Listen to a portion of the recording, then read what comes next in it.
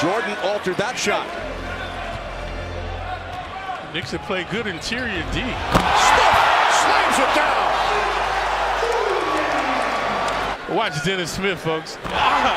He did not win the slam dunk contest, but won the hearts of the Knicks fans with this one.